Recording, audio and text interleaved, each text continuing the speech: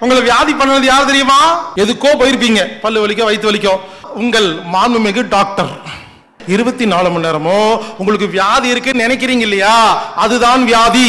ஐயோ அந்த சாப்பாட்டையா சாப்பிட்டீங்க? பாடியா மைண்டா இன்டெலிஜென்ட்டா மனசு என்ன பண்ணுது? பயப்படுது. இந்த பீலிங்லேண்ட் என்ன பண்ணுது? சில அலைவரிசைகளை மனசுக்கு அனுப்புது. பயப்பட்ட மனசு என்ன பண்ணுது? சில அலைவரிசைகளை உடம்புக்கு அனுப்புது செல்களுக்கு. ஒரே வினாடியில இத்தனை வேலை நடந்துச்சா இல்லையா?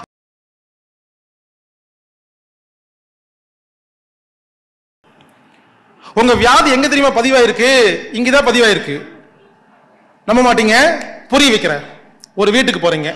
சாப்பாடு கொடுக்குறாங்க. சாப்பிட்டு உட்கார்ந்துருக்கீங்க. ஒருத்தர் கேட்கிறாரு சாப்பாடு எப்படி இருந்துச்சுன்னு? நீங்க சொல்றீங்க வாவ் பிரமாதம் ஃபண்டாஸ்டிக் அருமையான உணவு. இந்த மாதிரி உணவு சாப்பிட்டதே இல்லை செமையா இருந்துச்சுன்னு சொல்றீங்க. சொல்லிட்டு உட்காந்துருக்கீங்க பத்து நிமிஷம் கழிச்சு ஒருத்தர் வந்து ஒரு அம்மா வந்து இந்த சாப்பாட்டை யார் சாப்பிட்டாங்கன்னு கேட்குறாங்க நீங்க என் நான் தான் சாப்பிட்டேன் என்ன விஷயங்கிறீங்க? ஐயோ அந்த சாப்பாட்டையா சாப்பிட்டீங்க? ரெண்டு எலி உளுந்து செத்து போய் கிடந்துச்சுங்க அந்த சாப்பாட்டில். நான் வேண்டான்னு தூக்கி சாக்கடலை வீசலான்னு வச்சிருந்தேன். எங்க ஹஸ்பண்ட் லூசு உங்களுக்கு பரிமாட்டாருங்கன்னு சொன்னா அடுத்த நிமிஷம் ஆடு வாந்தி வருதா இல்லையா?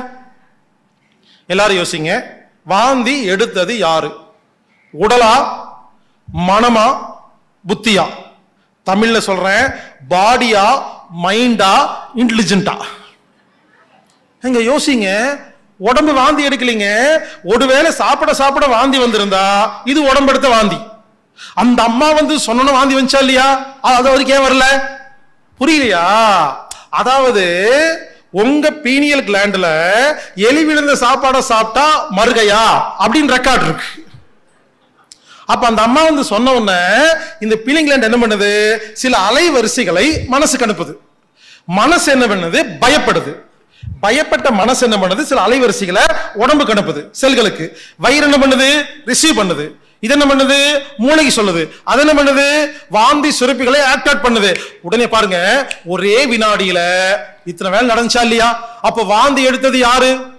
வாந்தி எடுத்தது உடல் அல்ல மனமல்ல வாந்தி எடுத்தது பீனியல் கிளாண்ட் இன்னும் புரியலையா? புரியுற மாதிரி சொல்றேன். அஞ்சு மாசம் குழந்தை படுத்திருக்கு. அதுக்கு பள்ளி விழுந்த பாலை கொண்டே கொடுத்துருங்க. அது சாப்பிட்டு படுத்திருக்கும். ஒரு பத்து நிமிஷம் கழிச்சு போய் பாப்பா பாப்பா நீ ஒரு பால் குடிச்சி இல்ல.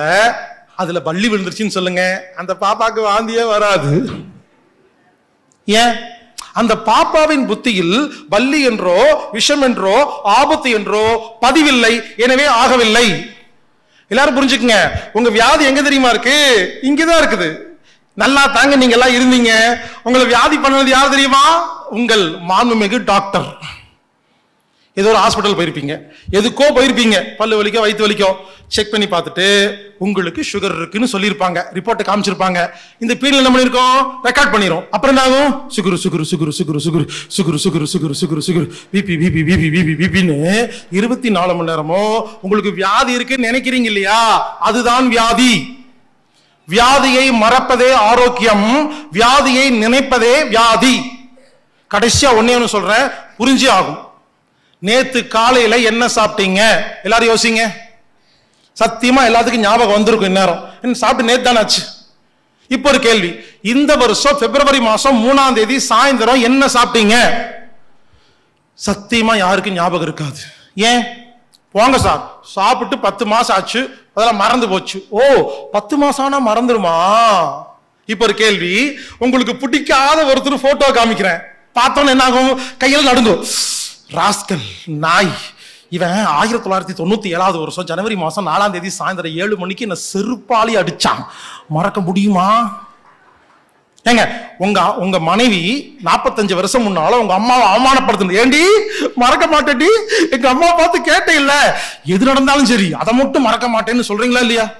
அப்ப உங்க வாழ்க்கையில பதினஞ்சு வருஷம் முப்பது வருஷம் நாற்பது வருஷம் முன்னால நடந்த சில விஷயங்கள் ஞாபகம் இருக்கா? ஏன் மறக்கல? அந்த விஷயத்தை திரும்ப திரும்ப நீங்க ஞாபகப்படுத்துவதால் அது ரெக்கார்டாக மாறிவிட்டது. நேற்று காலையில் சாப்பிட்ட உணவை தேவையில்லை என்பதற்காக நாம் மறந்துவிட்டு அதை மீண்டும் யோசிக்காததால் அது மறந்துவிட்டது. எனவே உங்களுக்கு வியாதி இருப்பது என்பதை மறப்பதே வியாதிக்கான வைத்தியமே தவிர அது நினைக்க கூடாது எனவே முக்கியமான விஷயம் சொல்ற இந்த வினாடியிலிருந்து இனிமேல் உங்கள் வியாதியை பத்தி யாரிடமும் பேசாதீர்கள்.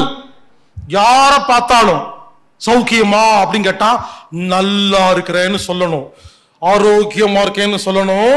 மூட்டு வலிச்சுக்கிட்டு தான் இருக்கும். இது வேற டிபார்ட்மெண்ட் இது வேற டிபார்ட்மெண்ட் நல்லா இருக்கேன் சௌக்கியமா இருக்கேன் பணம் காசுலாம் நிறைய இருக்குன்னு திரும்ப திரும்ப இந்த பீனியலில் பதிவு செய்து விட்டால் நமக்கு எது வேணுமோ அதை பதிவு செய்தால் மட்டுமே குணமாகுமே தவிர வேறு ஒரு வழி கிடையாது. எனவே பாசிட்டிவாக இருப்பதற்கு நாம் கற்றுக்கொள்ள வேண்டிய அவசியத்தில் இருக்கிறோம். ப்ரூஸ்லி செத்து போனது எத்தனை வயசுன்னு தெரியுங்களா? முப்பத்தி ரெண்டு வயசு. உலகத்திலேயே அதிக சண்டை தெரிஞ்சது யார் தெரியுமா? ப்ரூஸ்லி முரண்பாடா இருக்கா இல்லையா? உலகத்திலேயே அதிக சண்டை தெரிஞ்சவன் ஏன் சீக்கிரம் செத்து போயிட்டான்? ஏன்னா ப்ரூஸ்லி நெகட்டிவ். என்னதான் சண்டை தெரிஞ்சிருந்தாலும் ப்ரூஸ்லி யாரை பார்த்தாலும் இவர் நம்மள கொலை பண்ண வந்திருப்பாங்களோ? அப்படி நைட்டு கூட தூங்க மாட்டாராமா? திருங்கி பாப்பாராமா ஏன்னா இவர் நிறைய பேர்த்த போட்டு தள்ளியிருக்காரு. இவர் நிறைய பேர்த்த கொலை பண்ணனால எதிரி ஜாஸ்தி. அப்போ யாராவது நம்மளை கொலை பண்ணிட மாட்டாங்களாங்கிறத திரும்ப திரும்ப திரும்ப திரும்ப திரும்ப திரும்ப உச்சரிச்சனால அவர் புத்தியில் கொலை என்பது பதிவானனால் அவரை முப்பத்தி ரெண்டு வயதில் கொலை செய்து விட்டார்கள்.